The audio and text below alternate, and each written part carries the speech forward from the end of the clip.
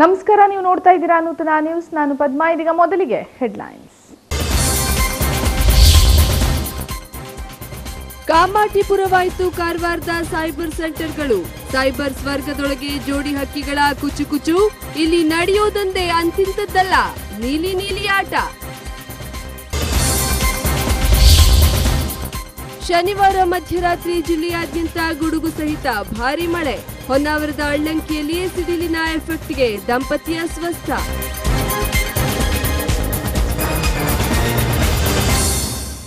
ಈಗ ವಾರ್ತೆಗಳ ವಿವರ. ಜಿಲ್ಲಾ ಕೇಂದ್ರ ಕಾರವಾರದಲ್ಲಿರುವ ಬಹಳಷ್ಟು ಸೈಬರ್ ಸೆಂಟರ್ಗಳು ಮುಂಬೈ ಕಾಮಾಟಿಪುರವನ್ನ ಮೀರಿಸುವ ದಂತೆಯಲ್ಲಿ ತೊಡಗಿವೆ.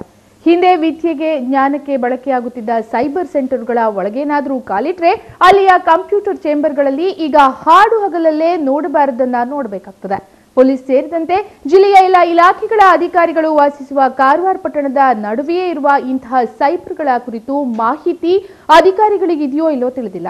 ಆದರೆ ಇಂತಹ ಸಮಾಜಕ್ಕೆ ಶೋಭಿತರದ ಕೆಲಸ ಮಾತ್ರ ಎಗ್ಗಿಲ್ಲದೆ ನಡೀತಿದೆ. ಕಾರವಾರವಾಗ್ತಿದ್ಯಾ ಕಾಮಾಟಿಪುರ? ಸೈಬರ್ ಸೆಂಟರ್ಗಳಲ್ಲಿ ನಡೆಯೋದು ಎಂತೆಂತಹ ಅಕ್ರಮ ಗೊತ್ತಾ?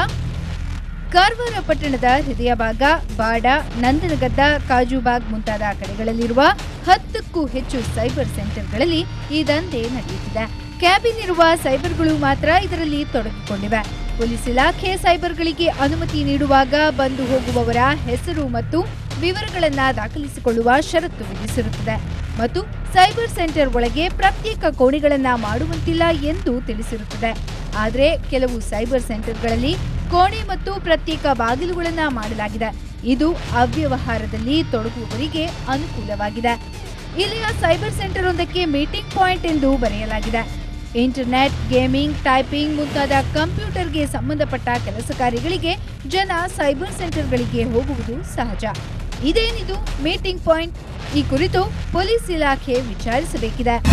ಸೈಬರ್ ಸ್ವರ್ಗದೊಳಗೆ ಜೋಡಿ ಹಕ್ಕಿಗಳ ಕುಚುಕುಚು. ಕಡಿಮೆ ಜನರಿರುವ ಸೈಬರ್ಗಳಿಗೆ ಓರ್ವ ಹುಡುಗ ಹುಡುಗಿ ಹೋಗ್ತಾರೆ. ಅಲ್ಲಿಯ ಕಂಪ್ಯೂಟರ್ ಇರುವ ಚೇಂಬರ್ ಒಂದನ್ನ ಆರಿಸಿಕೊಂಡು ಬಾಗಿಲು ಹಾಕೊಂಡು ಕೂಡ್ತಾರೆ. ನಂತರ ನಡೆಯುವುದನ್ನ ಇಲ್ಲಿ ಹೇಳಲು ಸಾಧ್ಯವಿಲ್ಲ. ಮರ್ಯಾದಸ್ಥರು ಒಳಗೆ ಕಾಲಿಟ್ರೆ ತಕ್ಷಣ ಅಲ್ಲಿಂದ ಹೊರಬರಬೇಕಾಗುತ್ತೆ. ಅಲ್ಲಿರುವ ಸಿಬ್ಬಂದಿಗಳಿಗೆ ಇದು ವಿಷಯನೇ ಅಲ್ಲ ಎನ್ನುವಂತೆ ನಿರ್ಲಿಪ್ತವಾಗಿರ್ತಾರೆ. ಈ ಬಗ್ಗೆ ಏನಾದ್ರೂ ಕೇಳಿದ್ರೆ ನಕ್ಕು ಸುಮ್ಮನಾಗ್ತಾರೆ. ಬೈದ್ರೂ ನಕ್ಕು ಬಿಡ್ತಾರೆ. ಇದಕ್ಕೆಲ್ಲ ಕಡಿವಾಣ ಹಾಕಬೇಕಾದ ಪೊಲೀಸ್ ಇಲಾಖೆ ನಿದ್ದೆ ಮಾಡ್ತಿದೆಯೇ ಎನ್ನುವ ಸಂಶಯ ಕಾಡ್ತಿದೆ.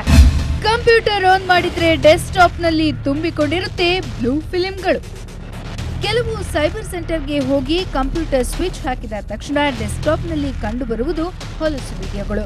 ಯಾರ್ಯಾರೋ ಕೂತು ಡೌನ್ಲೋಡ್ ಮಾಡಿ ಅಲ್ಲಲ್ಲೇ ಸೇವ್ ಮಾಡಿ ಹೋಗಿರ್ತಾರೆ. ಕೊನೆ ಪಕ್ಷ ಇಂಥವುಗಳನ್ನ ಡಿಲೀಟ್ ಕೂಡ ಮಾಡಿರುವುದಿಲ್ಲ. ಗೇಮ್ ಆಡಲು ಬರುವ ಮಕ್ಕಳ ಕೈಗೆ ಮಾಹಿತಿ ಪಡೆಯಲು ಅಥವಾ ಪ್ರಾಜೆಕ್ಟ್ ಮಾಡಲು ಬರುವ ವಿದ್ಯಾರ್ಥಿಗಳಿಗೆ ಸುಲಭವಾಗಿ ಸಿಗುವ ಇಂತಹ ವಿಡಿಯೋಗಳಿಂದ ಅವರ ಮನಸ್ಸಿನ ಮೇಲೆ ಎಂತಹ ಕೆಟ್ಟ ಪರಿಣಾಮ ಉಂಟಾಗಬಹುದು ಎನ್ನುವುದನ್ನು ಪಾಲಕರು, ಪೊಲೀಸ್ ಇಲಾಖೆ ತಿಳಿದು ಇಂತಹ ಸೈಬರ್ಗಳ ಮೇಲೆ ಕ್ರಮ ಕೈಗೊಳ್ಳಬೇಕಾಗಿದೆ. ಇನ್ನು ಈ ಬಗ್ಗೆ ಹೇಳಿಕೆ ನೀಡಿರುವ ರಾಮದಾಸ್ ನಾಯಕ್ ಏನು ಹೇಳ್ತಾರೆ ಕೇಳಿ. ಕೆಲವು ಸೈಬರ್ ಸೆಂಟರ್ಗಳಿಗೆ ಹೋದಾಗ ಇಂತಹ ಕೆಟ್ಟ ಅನುಭವವಾಗಿದೆ. ಕಾಲೇಜಿಗೆ ಹೋಗುವ ಮಕ್ಕಳು ಮತ್ತು ಮರ್ಯಾದಸ್ಥರು ಇಂತಹ ಸ್ಥಳಗಳಿಗೆ ಹೋಗುವುದಕ್ಕೆ ಭಯ ಪಡಬೇಕಾದ ಪರಿಸ್ಥಿತಿ ಇದೆ. ಇವುಗಳಿಗೆ ತಕ್ಷಣ ಕಡಿವಾಣ ಬೀಳದಿದ್ದಲ್ಲಿ ಮುಂದೆ ವಿದ್ಯಾರ್ಥಿಗಳ ಮೇಲೆ ಕೆಟ್ಟ ಪರಿಣಾಮ ಬೀಳಬಹುದು. ಎಲ್ಲ ಸೈಬರ್ ಸೆಂಟರ್ಗಳಲ್ಲಿ ಸಿಸಿಟಿವಿ ಅಳವಡಿಕೆ ಕಡ್ಡಾಯ ಮಾಡಬೇಕು ಮತ್ತು ಚೇಂಬರ್ಗಳನ್ನು ತೆಗೆದು ಕಾಮನ್ ಟೇಬಲ್ಗಳನ್ನು ಅಳವಡಿಸಬೇಕು. ಆಗ ಇಂತಹ ಅಕ್ರಮ ಚಟುವಟಿಕೆಗಳನ್ನು ತಡೆಯಲು ಸಾಧ್ಯ. ಇನ್ನು ಜಿಮ್ಕಿ ಕಮಲ್ ಸಾಂಗ್ ಸದ್ಯ ಎಲ್ಲರ ಬಾಯಲ್ಲಿ ಗುನುಕ್ತಿರೋ ಹಾಡು. ಈ ಸಾಂಗ್ ಮಾಡಿದ ಮೋಡಿ ಅಂತಿದ್ದಲ್ಲ ಇದರ ಕ್ರೇಜ್ಗೆ ಸಿಕ್ಕಾಪಟ್ಟೆ ಜನ ಮಸ್ತ್ ಮಸ್ತ್ ಸ್ಟೆಪ್ ಹಾಕಿ ವಿಡಿಯೋವನ್ನ ಯೂಟ್ಯೂಬ್ಗೆ ಬಿಟ್ಟಿದ್ರು. ಹಾಗೆ ಯೂಟ್ಯೂಬ್ನಲ್ಲಿ ದಾಖಲೆಯ ವೀಕ್ಷಣೆಯನ್ನ ಕೂಡ ಕಂಡಿತ್ತು. ಇದೆಲ್ಲ ಹಳೆ ಮ್ಯಾಟರ್ ಬಿಡಿ. ಆದ್ರೆ ಇದೀಗ ಇದೇ ಸಾಂಗ್ಗೆ ಪೊಲೀಸ್ ಅಧಿಕಾರಿಯೋರ್ವರು ಸಖತ್ತಾಗಿ ಸ್ಟೆಪ್ ಹಾಕಿದ್ದಾರೆ. ಆನ್ ಡ್ಯೂಟಿಯಲ್ಲೇ ಜುಮ್ಕಿ ಕಮಲ್ ಸಾಂಗ್ನಲ್ಲಿ ಕಮಾಲ್ ಮಾಡಿರುವ ವಿಡಿಯೋ ಇದೀಗ ಸಾಮಾಜಿಕ ಜಾಲತಾಣಗಳಲ್ಲಿ ಸಖತ್ ವೈರಲ್ ಆಗಿದೆ.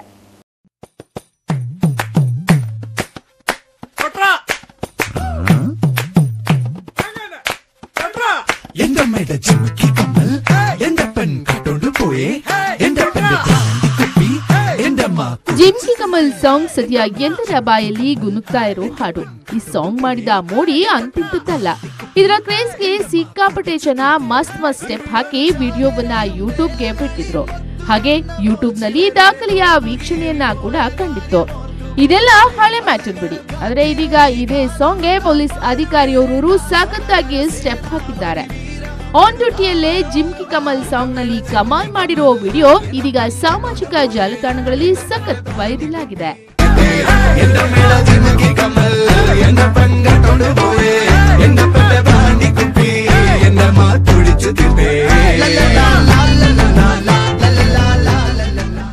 ಕದಂಬ ನೌಕಾನೆಲೆಯ ವೀಕ್ಷಣೆಗೆ ಒಟ್ಟು ನೂರ ಐವತ್ತೇಳು ಶಾಸಕರು ಹಾಗೂ ವಿಧಾನ ಪರಿಷತ್ ಸದಸ್ಯರು ಐರಾವತ ಬಸ್ನಲ್ಲಿ ಒಳಪ್ರವೇಶಿಸಿದರು. ಕಾರವಾರದ ಅರ್ಗಾಸಿ ಬಡ್ ಪ್ರವೇಶ ದ್ವಾರದಲ್ಲಿ ಪ್ರವೇಶಿಸುವ ವೇಳೆ ಬಸ್ಸಿನಲ್ಲಿ ಕುಳಿತ ಜನಪ್ರತಿನಿಧಿಗಳು ಮಾಧ್ಯಮದವರ ಕ್ಯಾಮೆರಾಗಳತ್ತ ಕೈಬೀಸಿ ಪೋಸ್ ನೀಡಿದರು. ಸಚಿವರಾದ ಆಂಜನೇಯ, ಉಮಾಶ್ರೀ, ಎಂಎಲ್ಸಿಗಳಾದ ಬಸವರಾಜ್ ಹೊರಟ್ಟಿ, ಎಸ್ವಿ ಸಂಕನೂರು, ಶಾಸಕರಾದ ಸತೀಶ್ ಶಿವರಾಮ್ ಹೆಬ್ಬಾರ್ ಕೂಡ ಈ ವೇಳೆ ಇದ್ದರು. ಬೆಳಗಾವಿಯ ಅಧಿವೇಶನದಲ್ಲಿ ಭಾಗವಹಿಸಿದ ಶಾಸಕರು ಹಾಗೂ ವಿಧಾನ ಪರಿಷತ್ ಸದಸ್ಯರನ್ನ ಪ್ರಧಾನಿ ನರೇಂದ್ರ ಮೋದಿ ಅವರು ಇಲ್ಲಿನ ಕದಂಬ ನೌಕಾನೆಲೆಯ ವೀಕ್ಷಣೆಗೆ ತೆರಳುವಂತೆ ನೀಡಿದ್ದ ಆಮಂತ್ರಣ ಮೇರೆಗೆ ಎಲ್ಲರನ್ನ ಇಲ್ಲಿಗೆ ಕರೆತರಲಾಗಿದೆ. ಈ ವೇಳೆ ಅನೇಕರು ಇದೇ ಮೊದಲ ಬಾರಿಗೆ ನೌಕಾನೆಲೆ ಪ್ರವೇಶಿಸುತ್ತಿರುವ ಕುರಿತು ಅಭಿಪ್ರಾಯ ಹಂಚಿಕೊಂಡರು. ಆರ್ಮಿ ನೇವಿ ಏರ್ಫೋರ್ಸ್ ಮೂರು ನಮ್ಮ ದೇಶದ ಭದ್ರತೆ ಪಡೆಗಳು. ಅವರು ಆದಷ್ಟು ಇನ್ನು ಜಿಲ್ಲೆಯಲ್ಲಿ ಕಾಂಗ್ರೆಸ್ ಪಕ್ಷ ಬಲಿಷ್ಠವಾಗಿದ್ದು ಜನರ ಹೃದಯದಲ್ಲಿ ಬೇರೂರಿದೆ. ಅದರಿಂದ ಎಷ್ಟೇ ರ್ಯಾಲಿ ಬರಲಿ, ಮುಖಂಡರಾದ ಶಾ ಬರಲಿ, ಮೋದಿ ಬರಲಿ, ಕಾಂಗ್ರೆಸ್ ಪಕ್ಷವನ್ನ ಅಳಿಸಲು ಸಾಧ್ಯವಿಲ್ಲ ಎಂದು ಕಾಂಗ್ರೆಸ್ ಜಿಲ್ಲಾಧ್ಯಕ್ಷ ಭೀಮಣ್ಣ ನಾಯ್ಕ್ ಕುಮಟಾದಲ್ಲಿ ತಿಳಿಸಿದರು. ಕುಮಟಾ ಪಟ್ಟಣದಲ್ಲಿ ನಡೆದ ಕಾಂಗ್ರೆಸ್ ನೂತನ ಕಾರ್ಯಾಲಯದ ಉದ್ಘಾಟನೆ ಹಾಗೂ ಇಂದಿರಾ ಗಾಂಧಿಯ ನೂರನೇ ಜಯಂತಿ ಉತ್ಸವದ ನಿಮಿತ್ತ ಇಂದಿರಮ್ಮ ನುಡಿ ನಮನ ಕಾರ್ಯಕ್ರಮದಲ್ಲಿ ಭಾಗವಹಿಸಿ ಮಾತನಾಡಿದ ಅವರು, ಕಾಂಗ್ರೆಸ್ ಪಾರ್ಟಿ ಜಿಲ್ಲೆಯಲ್ಲಿ ಭದ್ರವಾಗಿದೆ.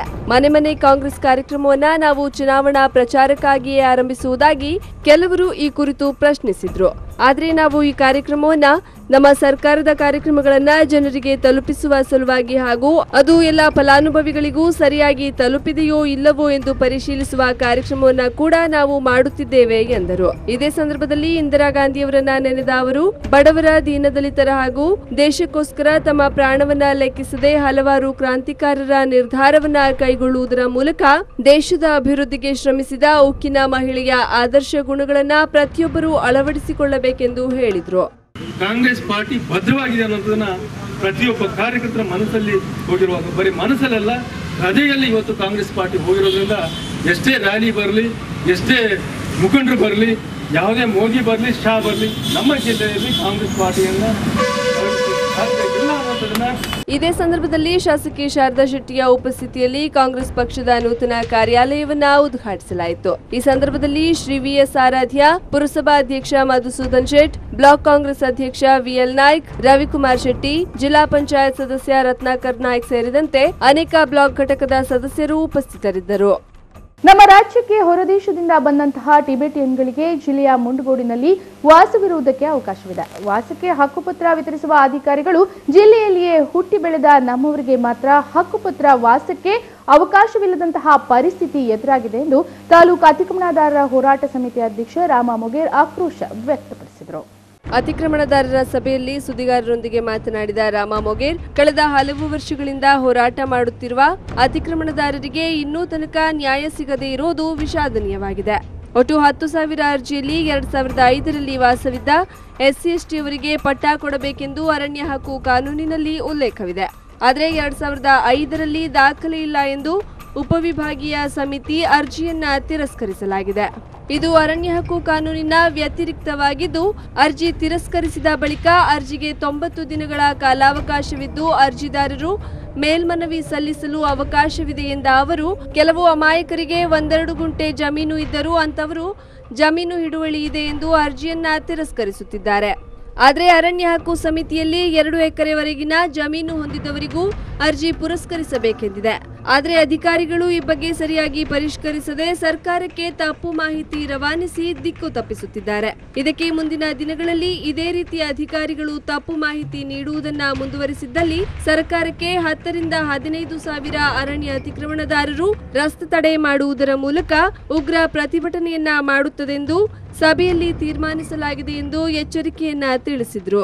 ಈ ಹತ್ತು ಸಾವಿರ ಅರ್ಜಿಗಳಲ್ಲಿ ಈಗ ಎಸ್ ಟಿ ಅವರದ್ದು ಎರಡ್ ಸಾವಿರದ ಐದರಲ್ಲಿ ವಾಸವಾಗಿದ್ರು ಸಹ ಅದನ್ನ ಕೊಡಬೇಕು ಅಂತ ಹೇಳಿ ಅರಣ್ಯ ಹಕ್ಕು ಕಾನೂನಲ್ಲಿ ಬರೆದಿದೆ. ಆದ್ರೆ ಎಸ್ ಅವ್ರದ್ದು ಸಹ ಈಗ ಎರಡ್ ಸಾವಿರದ ಐದರ ದಾಖಲೆ ಇಲ್ಲ ಅಂತ ಹೇಳಿ ಎಲ್ಲವನ್ನ ರಿಜೆಕ್ಟ್ ಮಾಡಿದ್ದಾರೆ ಉಪವಿಭಾಗೀಯ ಸಮಿತಿ. ಈ ಸಂದರ್ಭದಲ್ಲಿ ತಾಲೂಕು ಅತಿಕ್ರಮಣದಾರರ ಹೋರಾಟ ಸಮಿತಿಯ ಪದಾಧಿಕಾರಿ ಅಶ್ವಾಕ್ ಸಿದ್ದಿಕಾ ಮೊಹಮ್ಮದ್ ರಿಯಾನ್, ವಾಸಿ ಅಕ್ಕಿಹೊಳೆ, ಕೆ ಸುಲೇಮಾನ್, ಪ್ರಕಾಶ್ ನಾಯ್ಕ್, ಸಲೀಂ ಕುನ್ನನ್ಗುಡ ಸೇರಿದಂತೆ ತಾಲೂಕು ಅತಿಕ್ರಮಣದಾರರು ಉಪಸ್ಥಿತರಿದ್ದರು.